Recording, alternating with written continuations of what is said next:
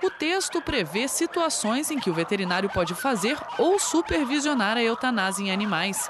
Entre as razões aparece o bem-estar do animal doente, se ele for uma ameaça à saúde pública ou ao meio ambiente. Além disso, o conselho indica que o abate pode ocorrer caso o tratamento do bicho seja muito caro para o dono, o que gera controvérsia. Tem que ser feita no último, nos últimos, últimos casos no caso do animal estar numa situação irredutível, não ter mais condição, e que te tenha pelo menos os dois veterinários para testar a situação do animal, quando ele está num sofrimento irreversível.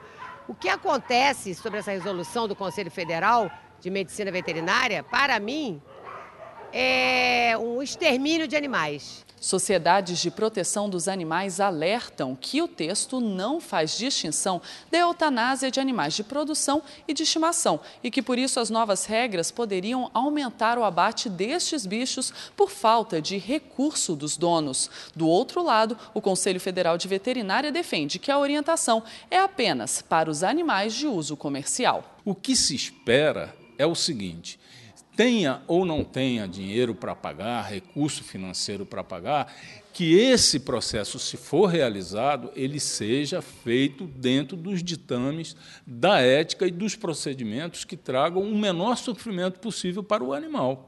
A resolução regulamenta as formas aceitas para a prática da eutanásia. O uso de sedativos antes do abate passa a ser obrigatório. Já o choque elétrico foi banido. Em Brasília, um Aras mostra ser possível encontrar outras alternativas, combinando economia com proteção dos animais. Quando uma das éguas sofreu um acidente e precisou ser aposentada, os donos doaram o animal a parceiros para evitar a eutanásia. A gente procura sempre tratar até quando não tem mais solução mesmo.